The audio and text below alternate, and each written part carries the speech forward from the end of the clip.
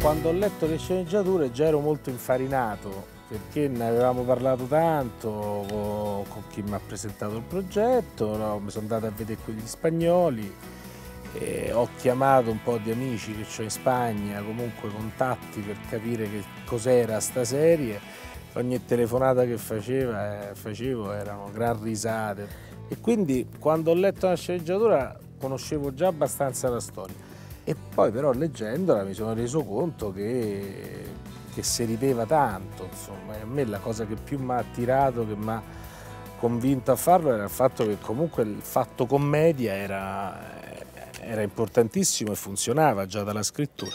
A far innamorare un po' tutto il pubblico, un pubblico vastissimo, fatto di, di bambini, di, di, grandi, di ragazzi, perché tutto quello che è stato raccontato è stato raccontato con una grandissima grazia, con una grande onestà, con una certa delicatezza, eh, da tutto un gruppo di lavoro veramente bellissimo, di persone dotate tutte di grandissima sensibilità. Penso che nella mia carriera Lucia sia forse il personaggio più vicino alla vera Elena Sofia, eh, perché è una mamma, perché è una mamma eh, che pensa di conoscere le regole per essere una mamma, diciamo, passabile e ovviamente, come, come tutte noi mamme, e poi sbagliamo.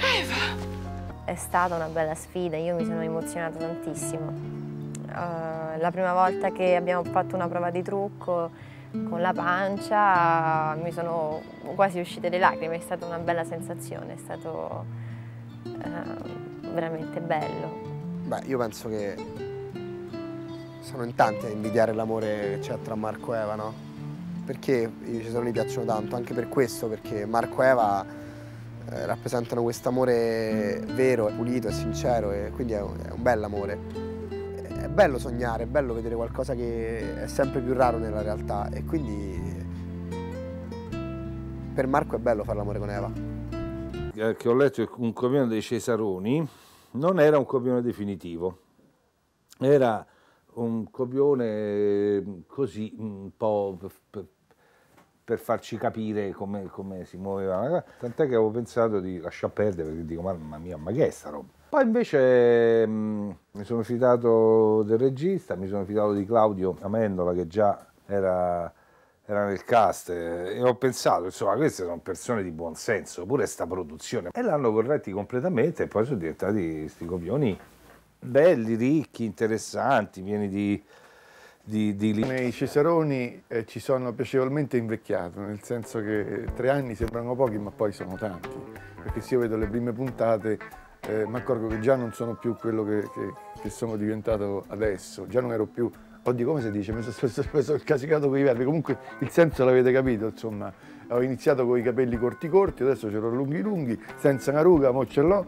eh, e poi però mi sono venute queste qua, che sono le, le, le rughe della risata, perché grandi ritmi, grandi, grande lavoro, perché insomma comunque Cesaroni non è pizza e fighi come si dice a Roma, è un lavoro importante che mi ha fatto bene. E quindi dalla mattina alla sera si fa quello, però almeno ci siamo divertiti tanto. Sai cosa c'è? C'è un mondo nuovo qui che aspetta solo noi, adesso che